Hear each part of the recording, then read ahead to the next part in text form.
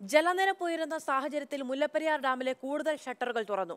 നിലവിൽ ഏഴ് ഷട്ടറുകളിൽ നിന്നായി അയ്യായിരത്തി അഞ്ഞൂറ്റി അൻപത്തിനാല് ദശാംശം അഞ്ച് ഏഴ് ഖനയടി ജലം പുറത്തേക്കൊഴുകുകയാണ് രണ്ട് ഷട്ടർ കൂടി അല്പസമയത്തിനകം തുറക്കും. നൂറ്റി നാൽപ്പത്തിയൊന്ന് ദശാംശം എട്ട് അഞ്ചാണ് അണക്കെട്ടിലെ ജലനിരപ്പ്. ലിജോ റോളൻസ് ആണ് നമ്മളോടൊപ്പം ചേരുന്നത്.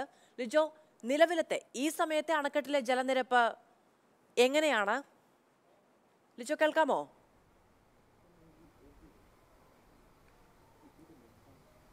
മാധു ഏറ്റവും പുതിയ കണക്ക് പ്രകാരം മുല്ലപ്പെരിയാർ അണക്കെട്ടിലെ ജലനിരപ്പ് എന്ന് പറയുന്നത് നൂറ്റി നാൽപ്പത്തി ഒന്ന് ദശാംശം ഒൻപത് പൂജ്യം അടി അതായത് ദശാംശം അഞ്ച് അടി കൂടെ ഉയർന്നിട്ടുണ്ട്. നൂറ്റി നാൽപ്പത്തി ഒന്ന് ദശാംശം ഒൻപത് പൂജ്യം അടിയാണ് ഇപ്പോഴത്തെ ജലനിരപ്പ് എന്ന് പറയുന്നത്.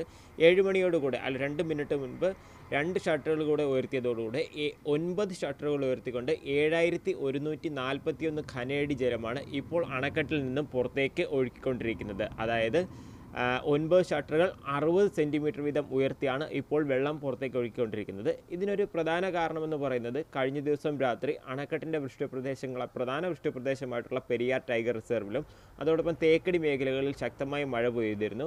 ഇതിന്റെ ഭാഗമായിട്ട് അണക്കെട്ടിലേക്കുള്ള നീരൊഴുക്ക് ഏകദേശം എണ്ണായിരത്തി മുപ്പത് ഖനയടിയോളം വരെ ഉയർന്നിരുന്നു. ഈ ഒരു സാഹചര്യത്തിലാണ് പകലും ഒരു ഒരു ഏതെങ്കിലും സാഹചര്യത്തിൽ നീരൊഴുക്ക് ഇനിയും വർദ്ധിച്ചു കഴിഞ്ഞാൽ നൂറ്റി നാൽപ്പത്തിരണ്ട് എന്ന് പറയുന്ന ആ ഒരു ജലനിരപ്പിന് മുകളിലേക്ക് പോകാനായിട്ടുള്ള സാഹചര്യം മുന്നിൽ കണ്ടുകൊണ്ടാണ് തമിഴ്നാട് ഇപ്പോൾ കൂടുതൽ ജലം പുറത്തേക്ക് ഒഴുക്കാനുള്ള ഒരു തീരുമാനമെടുത്തിരിക്കുന്നത്.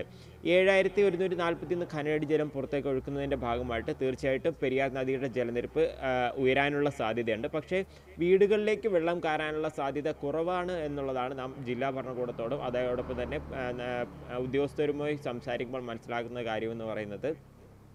ഇതിലെടുത്ത് പറയേണ്ട ഒരു കാര്യം എന്ന് പറയുന്നത് കേരളം നിരന്തരമായി ആവശ്യപ്പെടുന്ന ഒരു ആവശ്യത്തിന് ഒരു അംഗീകാരം ലഭിച്ചിരിക്കുന്നു എന്ന് വേണമെങ്കിൽ പറയാൻ കഴിയും. രാത്രി തുറക്കാതെ പകൽ സമയത്ത് അണക്കെട്ടിൽ നിന്നും ജലം കൂടുതൽ പുറത്തേക്ക് ഒഴുക്കണം എന്നുള്ള ഒരു ആവശ്യമാണ് കേരളം നിരന്തരമായി ഏകദേശം രണ്ടാഴ്ചയോളമായി തമിഴ്നാടിനോട് ആവശ്യപ്പെട്ടുകൊണ്ടിരിക്കുന്നത്.